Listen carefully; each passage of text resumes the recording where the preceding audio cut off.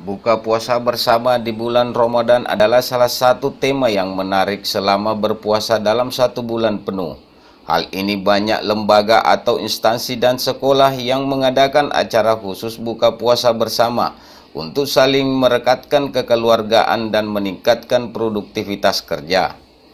Seperti halnya yang dilakukan Sekolah SMP Negeri 10 Samarinda yang mengadakan acara buka puasa bersama di hari ketujuh puasa Ramadan 1438 Hijriah. Ini untuk membangun suasana kekeluargaan antara pihak sekolah, yakni guru dan murid serta keluarga siswa-siswinya. Hubungan yang erat dan harmonis dalam pendidikan akan membuat suasana pembelajaran menjadi sangat menyenangkan. Tujuan pendidikan untuk anaknya akan semakin terwujud dengan baik jika hubungan antara guru sekolah dan orang tua terjalin baik. Kemudian yang nilainya juga belum mencapai 300, tidak perlu bersedih. Karena tantangan kita ke depan ya tetap kita tunjukkan ke sekolah-sekolah yang lain bahwa begitu kita masuk ke SMA dan SMK nanti kita bisa lebih kompetitif. Ya, begitu kamu lepas dari SMP Negeri 10 nanti label sebagai siswa SMP Negeri 10 itu tidak akan lepas. Jadi tolong nama baik sekolah itu tetap ada di genggaman kita bersama. Sekolah SMP Negeri 10 Samarinda menggelar buka puasa bersama sekaligus menyampaikan hasil persentase nilai hasil UNBK serta peringkat prestasi dalam bidang keolahragaan dan yang tak kalah pentingnya adalah pemantapan program kurikulum. Tiga tadi tidak cuma IQ, ada EQ dan ada SQ-nya itu tadi. Semuanya kami link secara bersamaan agar siswa di kelas ini saling bisa membantu. Jadi anak memang tidak semuanya memiliki kemampuan matematika yang bagus, tidak semua memiliki kemampuan bahasa. Nah di situ mereka saling sharing karena adanya ini tadi uh, grup lain, grup WA dan juga uh, selain itu juga di IG pun kita tampilkan di sana di Instagram mereka mau nampilkan apa. Jadi kita tahu oh ini bakatnya lebih kental ke mana untuk arah cita-cita mereka. Untuk uh, strategis uh, pengelolaan kelasnya itu?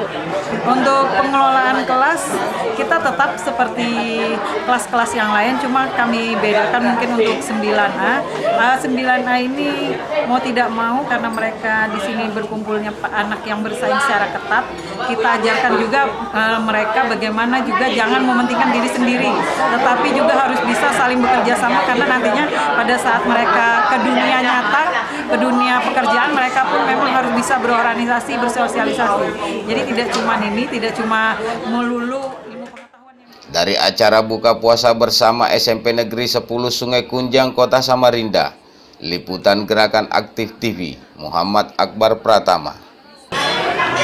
Apa sih uh, kebanggaannya uh, selama uh, bersekolah di sini terus uh, prestasinya seperti apa?